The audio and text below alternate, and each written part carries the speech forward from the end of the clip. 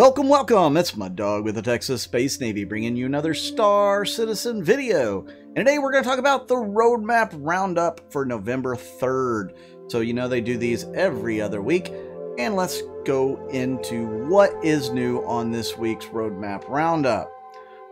Uh, so it says, Happy Wednesday, everyone. Every two weeks, we accompany Roadmap Roundup with a brief explanation, blah, blah, blah. You get the idea. Notable changes for November 3rd, 2021. Salvage. As previously announced on the September 8th Roadmap Roundup, the core gameplay pillar have shifted their focus to deliver features initially for Squadron 42, before then uh, moving integrated or moving to integrate it into the persistent universe. This has a twofold benefit. Squadron 42 will benefit greatly from additional resources and a dedicated focus, and the persistent universe will see features come online in a more complete and polished state. In other words, we won't see features like tier 0 features. We will see more like tier 2 maybe, even though they'll probably be worked on even more. Uh, the core gameplay teams have recalibrated their schedules after their project focus transition are now planning to complete their work on salvage for Squadron 42 in Q1 2022. To allow enough time to implement this feature set into the persistent universe, Salvage is now targeting a Q2 22, 2022 release. Okay, so Salvage, second quarter of 2022. That means summer. Expect it in July, August. Uh, however, you may notice that we've renamed Salvage Tier 0 Tech to Salvage Tier 0. This is a better re uh, represent the expanded gameplay releasing with Salvage debut. More specifically, the initial release is no longer just the back-end tech implementation, but will introduce both hand-operated salvage as well as ship-operated salvage, like hull stripping and repair, using the systems on board the Drake Vulture. So we won't get the Vulture until quarter two as well, it sounds like. So you guys that are fans of salvage, that that's what they what you want to do. It looks like you won't get it until quarter two of next year. So it kind of was bumped back again, kind of like what I predicted uh, last week. So I'm sorry that you're gonna have to wait for it, but you're gonna get a little bit more of a complete gameplay loop now that uh, they're waiting to implement more of it into the persistent universe. Uh, with that said, let's go on to what's new on the release view. Derelict spaceships, points of interest. Uh, points of interest that will be scattered on planets. They will be derelict spaceships with some type of activity or puzzle, traversal, hostile AI, something along those lines, and some type of reward for resolving said activity. This card has been added to Alpha 316. So, derelict spaceships on 316. Mining gadgets. Uh, they will help modify rock uh, the rock and assist the player with mining deposits.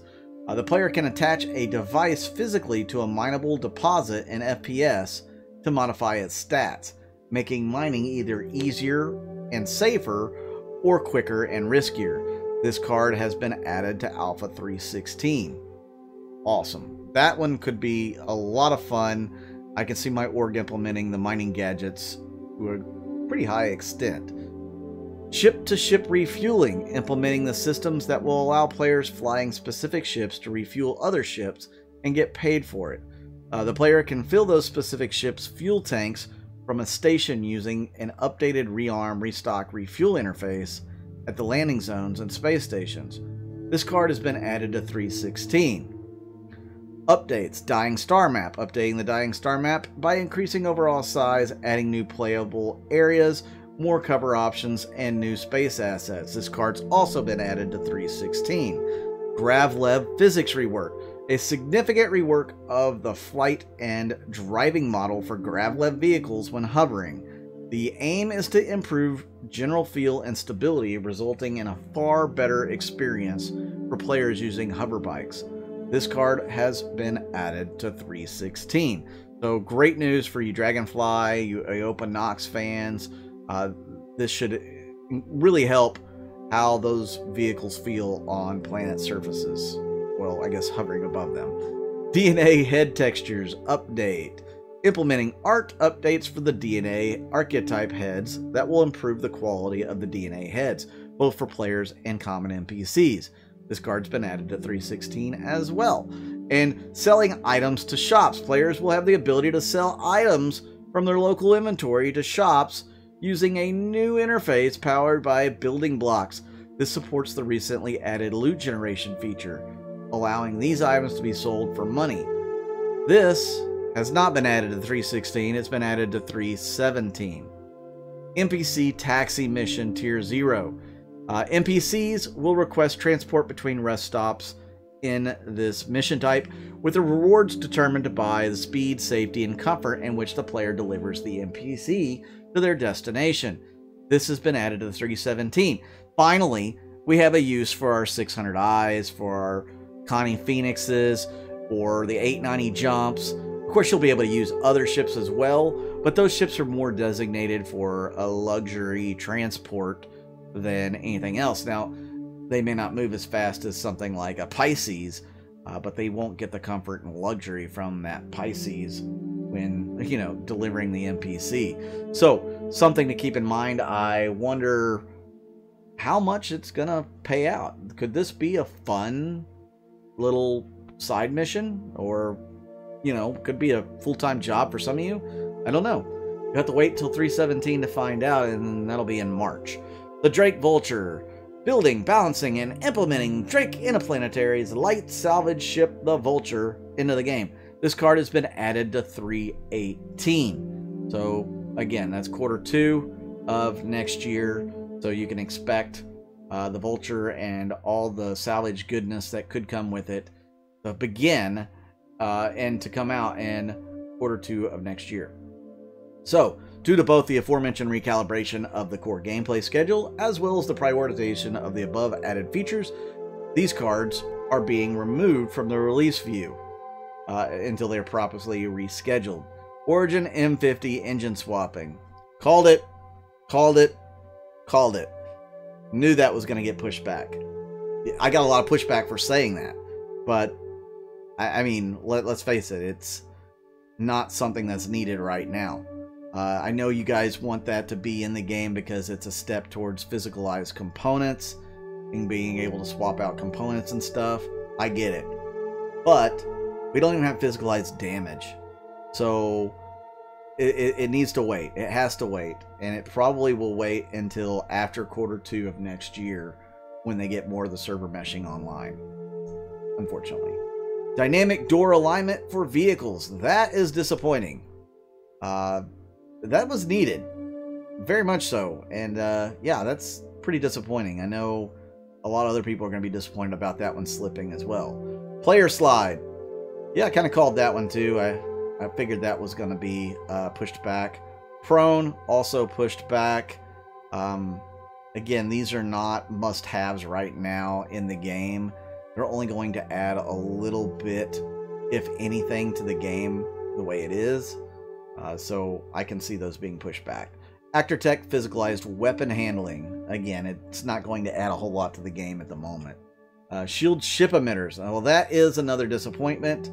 I was hoping to be able to take out, you know, emitters so that we could bring shields down. But uh, yeah, I guess we'll just have to wait again for that to come out at another date. Let's take a look at some of the sprints that concluded and the sprints that were started. We'll start with the sprints that were started. The AI navigation links, like elevators, transit, etc., that's been started. I guess uh, that needs to be polished a little bit. Uh, chapter, we'll see NPCs going up and down through elevators and things like that because they got to get in your ships eventually, right? Uh, chapter 3 for Squadron 42 has been started. And then the sprints that have been included AI landing, AI navigation for like ladders and ledge grabs, uh, Area 18 hospital staff outfits, the Atlas, which I guess is that vehicle type that the ballista is based off of. Chapter 2 has been completed. Chapter 17 for Squadron 42 has been completed. Gainey, I'm not sure what Gainey is. Uh, it's a, maybe it's a character or a place. I don't know. Uh, Jump Point Spacescaping. Five devs finished that. Uh, that is going to be interesting since we don't have jump points yet. Lorville Hospital staff outfits, outlaw medical outfits, player item shard transition. That's going to be an important one. Uh, security behavior. Star World's improvements, which that's like an editor, I guess they have. Theaters of War Crossroads of Crime is in the concluded state. When are we going to get it? Is it going to be 316? I hope so. That would give us a lot to do over the uh, holidays going all the way into March before they release another patch. Please, please give us Theaters of War finally. Please let it not be buggy. Uh, and then weapon weapon handling tier two uh, was also concluded. So there you have it. That's the roadmap roundup. I hope you guys enjoyed it. Uh, what what's your what stands out the most for you in this roundup, and you know for a good thing? And what's the biggest setback do you think from this roadmap roundup? What what's your biggest disappointment? Let me know in the comments down below. Make sure that you like and subscribe to this channel as it helps me on the algorithm.